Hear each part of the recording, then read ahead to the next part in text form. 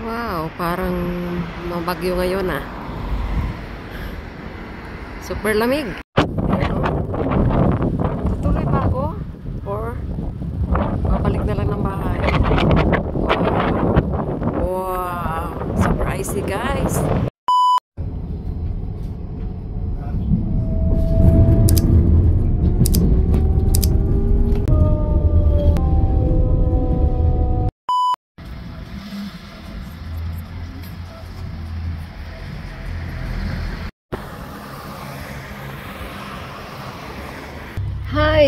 Mga kabayan, magandang araw po sa lahat. Nandito po tayo ngayon sa Adinawa Park. Let's go and uh, we have to walk around.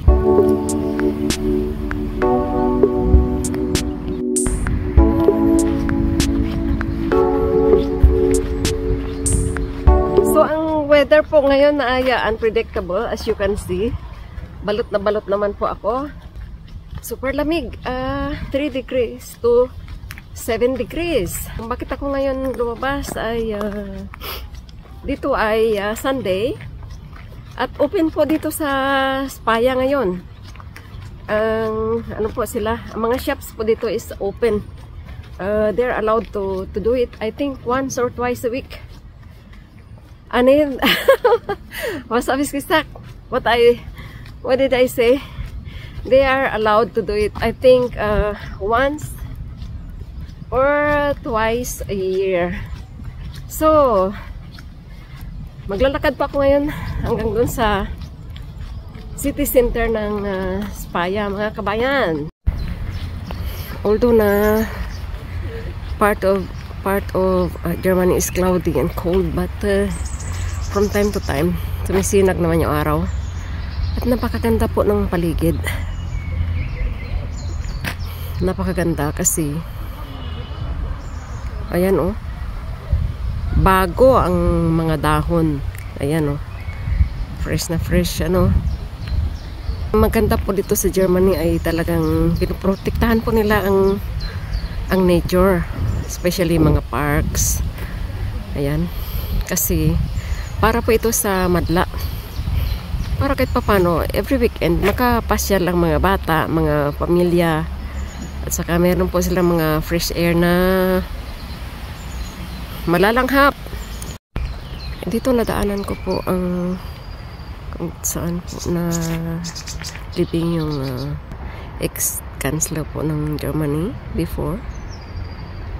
Si uh, Kansler Helmut Kohl. Bakit po tayo dito?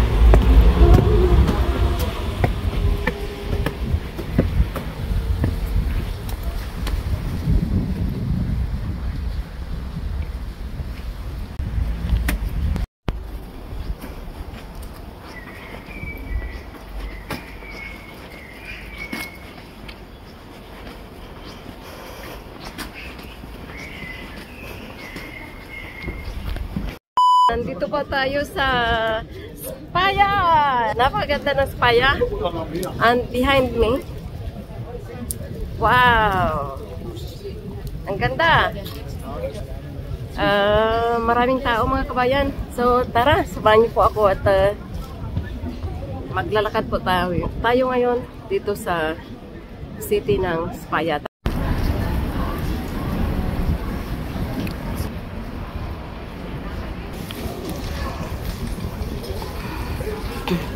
So, dadaan po ako dito sa portal. Ito yung pinaka-entrance ng Spaya when you get into the city. So, ito yung makikita ma nyo. Ayan, napakaganda, no?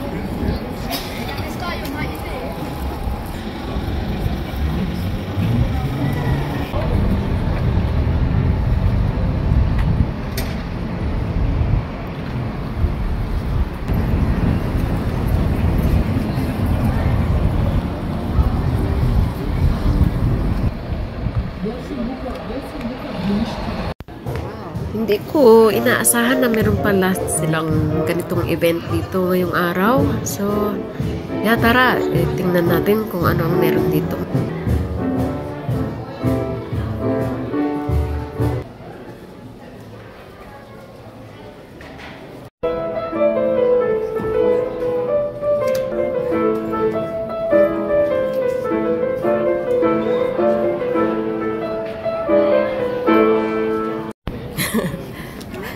Nakita kami ng Pilipina rito ah.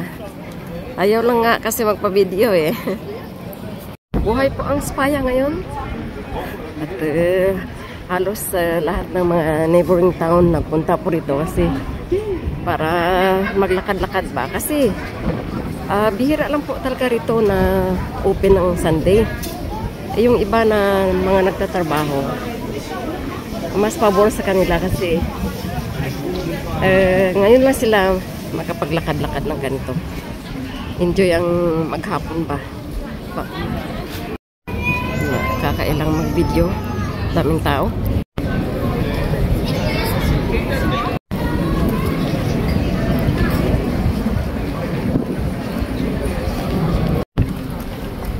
Talagang marami pa rin pong mga frameworks po rito sa Spaya. Yung mga old buildings po nila nandito pa rin ang gaganda. So talagang palapit na po tayo doon sa pinaka main topic natin yung uh, Spaya Dome.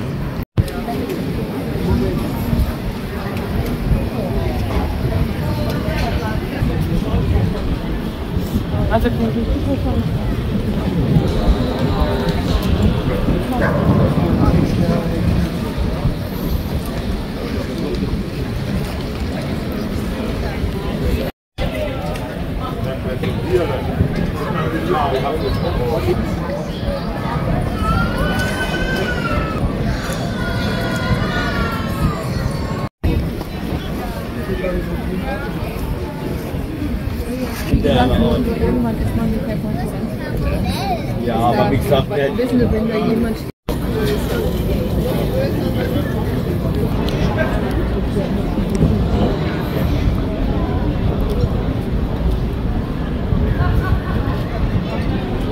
Punta pa ako doon sa church.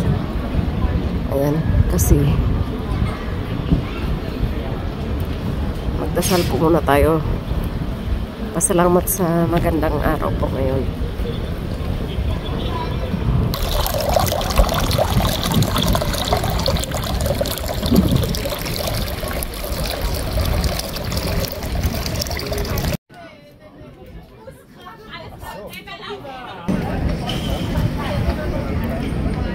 Jacob. His name is Jacob, the, the pilgrimer.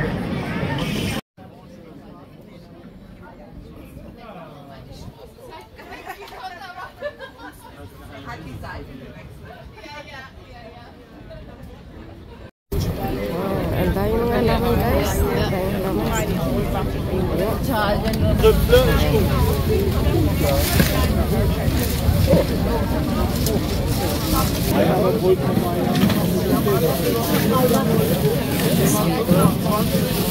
Ito po, ayan o. Oh, nagtitinda sila mga bulaklak.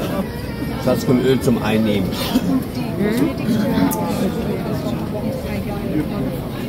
Ito, mga kabayan. Yeah, merong tinda ngayon dito. At uh, I think uh, way back during the Middle Age, siguro ganito yung mga ginagawa nila. Nag-ipon-ipon po sila rito. Magtinda ng kanilang mga product, mga regional products, mga kabayan. Yan o. Oh. oh. Yan, meron din silang ganyan. Krisan ko. Ganda. Ganda, ano. Mostly po para sa mga garden po ito. Garden uh, lavendel. Yan, mabango to.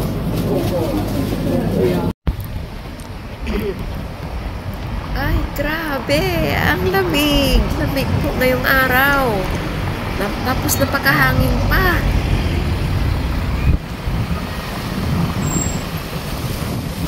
Wow.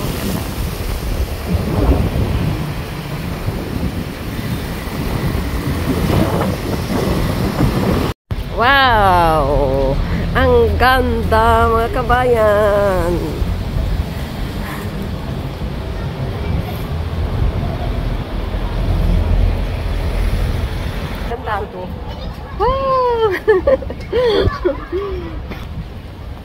Ganda. Yeah, ganda.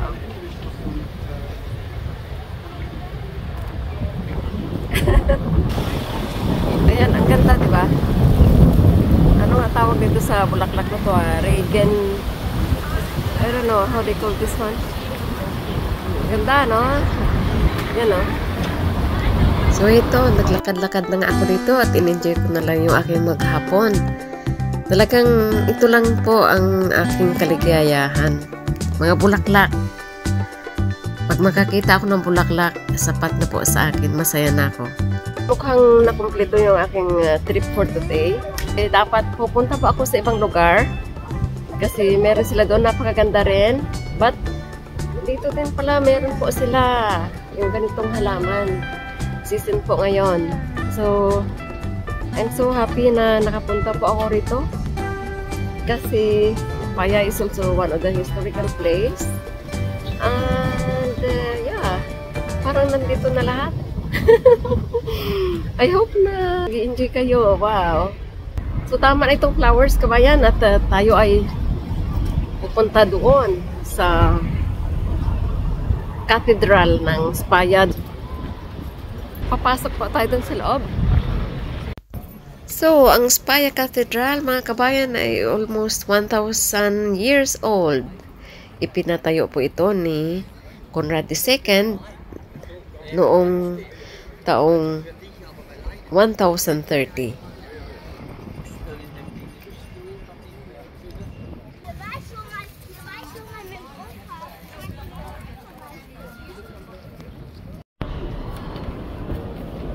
Hallo.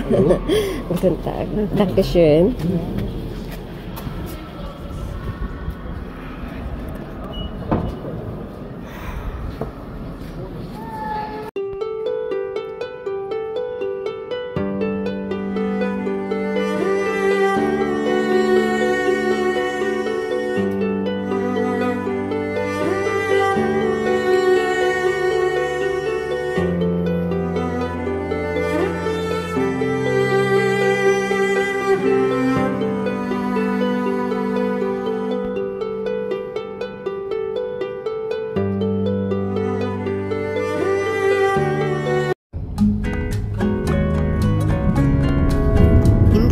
Nakayanan ang lamig kaya nag-decide na lang po ako na uuwi na lang.